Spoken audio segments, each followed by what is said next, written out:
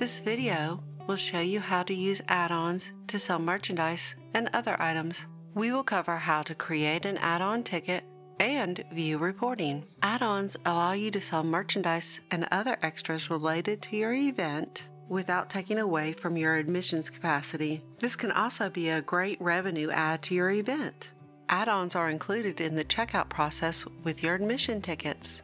If your organization has set roles and permissions, you must either have the owner or admin role, which default to all permissions, or a custom role with permissions to manage tickets and access basic events permission.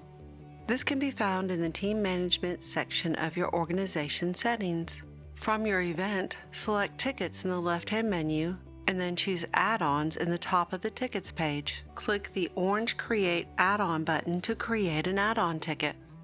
If your add-on has variations like size or price, check the box next to this add-on has multiple prices or variations. If you have variations, you will see the option to click the Add Variation where you can enter the name, t-shirt size small, and continue to enter the quantity, price, details, image, and sales times. Click Save to continue to add additional variations. If you do not have a variation, continue to fill out the fields, name, quantity, price, image, details to include in your confirmation email, for example, pickup instructions, and remaining sales details. You will notice the option for delivery method.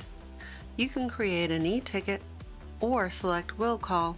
This is up to you and how you would like to track the pickup and delivery of your add-on. It is important to clarify the pickup or delivery for your add-ons in the confirmation email. Click Save. When purchasing tickets, attendees will see the add-ons just below the tickets.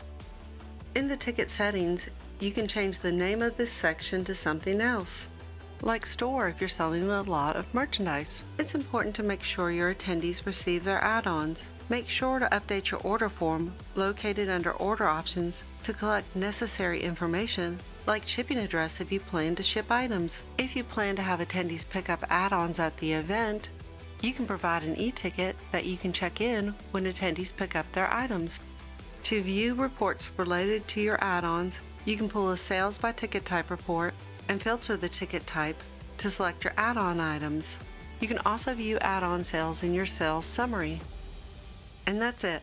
For more help planning your next event with Eventbrite, visit our Help Center, blog, or YouTube channel.